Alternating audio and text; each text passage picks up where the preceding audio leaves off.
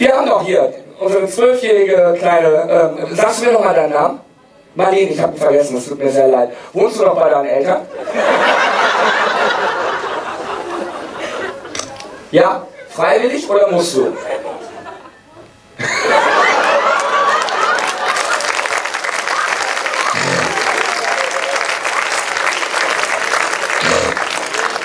Marlene, für die Antwort schenke ich dir eine CD nach der Veranstaltung, wenn du möchtest. Grandios. Ja, ich weiß, dass du jetzt Stress zu Hause hast, deswegen. Und die Mama kocht dir denn alles, was du so essen möchtest?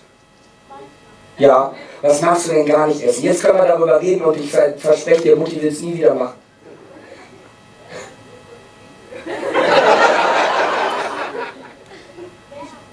Ja, sag eins ruhig. Was, was magst du überhaupt nicht? Was willst du nie wieder auf dem Teller sehen?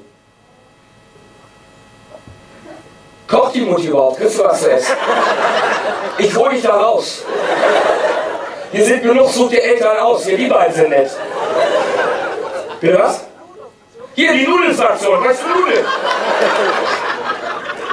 Nudeln mit Soße, von morgens bis abends. Was gibt's zum Frühstück? Bolognese, jawohl. Nee, sag mal, irgendwas. Sauerkraut. Wo ist die Mama?